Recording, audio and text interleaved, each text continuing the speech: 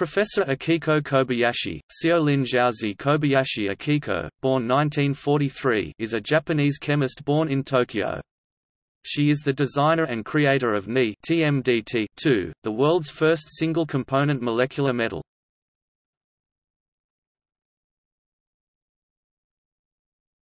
Topic: Biography Kobayashi was born in 1943. Her mother was a musician and her father was a physicist.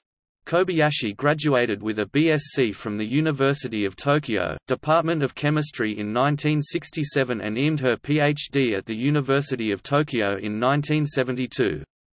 Staying at the university, she became a research associate 1972, associate professor 1993, and full professor 1999.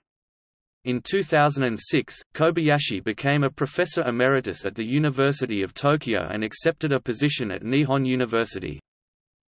She was a 2009 L'Oréal UNESCO Awards for Women in Science laureate, for her contribution to the development of molecular conductors and the design and synthesis of a single-component organic metal.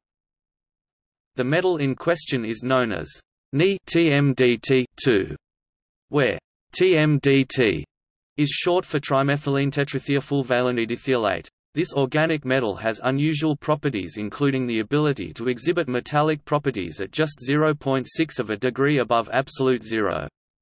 This material is paramagnetic and is attracted to magnetic fields at nearly every temperature below room temperature. The implications of Kobayashi's work is part of an emerging family of new materials with interesting and exploitable properties. Kobayashi's first discovery was based on nickel. Since then variations based on zinc and copper have been created and studied.